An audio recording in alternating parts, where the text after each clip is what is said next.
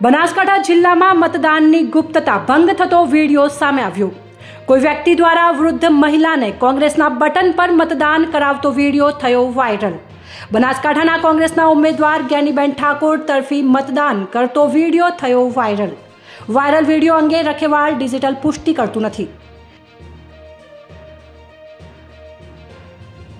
આમાં કરો હોવા મેં કીધું બસ મેં કીધું આમાં કરો. હોવા. બસ મેં કીધું.